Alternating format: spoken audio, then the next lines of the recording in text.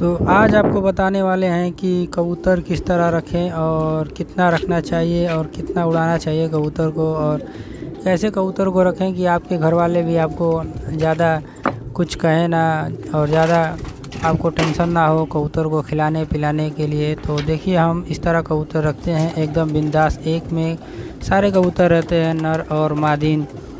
और शाम को हम सुबह आधा एक घंटा खोल देते हैं जितना टाइम मिलता है और शाम को पाँच, साढ़े पाँच बजे जब ठंडे हो जाता है मौसम तो हम छत पे आते हैं और इसी टाइम हम खोल के एक साथ कबूतरों को खिला देते हैं। और इससे हमें फ़ायदा होता है और जितने भी बड़े शहरों में जो ज़्यादातर बड़े बड़े कबूतरबाज हैं जो काफ़ी बाजियाँ खेलते हैं, उन उन लोग टूर्नामेंट खेलते हैं तो उनको बहुत ही बहुत ही मेहनत करना पड़ता है कबूतरों के पीछे। पूरा दिन गुजर जाता है तो इस तरह कबूतरबाजी सही नहीं होता है कहीं भी।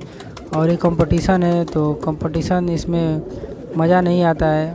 और आप एक साथ कबूतर रखें और उसी को उड़ाएँ, चाहे दो घंटा उड़े, चाहे पाँच घंटा उड़े, वही बेस्ट कबूतरबाजी माना जाता है। और दिल को सुकून भी वही मिलता है।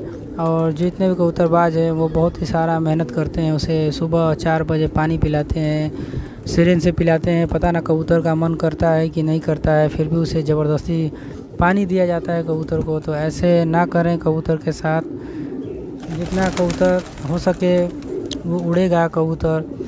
और उसका मन का है, कबूतर चार पाँच घंटे उड़ जाए, वही बहुत बड़ी बात है, क्योंकि दोनों, आपका भी समय बचेगा और कबूतर का भी। क्योंकि जो कबूतर दिन भर उड़ेगा, वो अगली बार कभी नहीं उड़ेगा, अगले दिन नहीं उड़ेगा।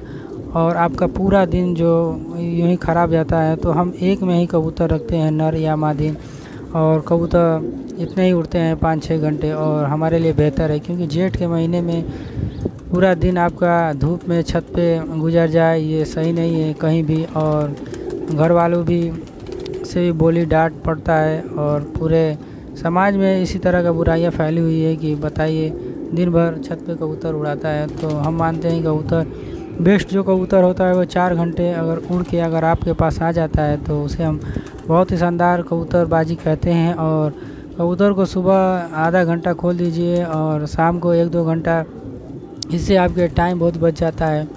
और ऐसा जो आप घर बनाएँ कि कबूतर को उसी में आए और खाना दाना डाल दें तो वो बेस्ट और रहेगा। और क्योंकि जब आप पूरे कबूतर इस तरह आप खोल के खिलाएँगे तो बहुत ही ज़्यादा टाइम लगता है कबूतर को। कुछ कबूतर शाम के वक्त उड़ जाते हैं तो उनको बैठाना पड़ता है। बहुत बहुत चैलेंज भरा है कबूतरबाजी है और बहुत ही लंबी कबूतरबाजी है, कितना आपको बताएँ? और आगे हम आग वीडियो बनाएँगे तो पूरा बात बताएँगे आपको। तो आप बहुत ही कम कबूतरबाजी करिए बेस्ट रहेगा आपके लिए।